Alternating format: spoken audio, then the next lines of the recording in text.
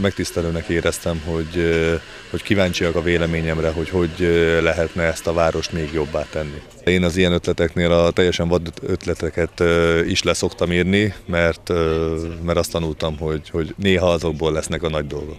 Most nem árulom el mindet, nagyon sok van, ezeket majd írásban leadom Gergőjéknek. Az utam nagyon gyakran visszahoz, itt gazdálkodok lent Kömlőn, ami ugye Egertől csak 30 kilométer, mellette feleségem édesanyja is még itt él, úgyhogy elég sok minden köt a, a múltamon kívül. Bízom benne, hogy a jövőm is majd. Hetente, két hetente mindig megfordulok itt a városban, ha csak órákra, fél órákra is. Szerintem ez a továbbiakban sem fog változni. Tehát ez a, ez a sűrűség minimum megmarad.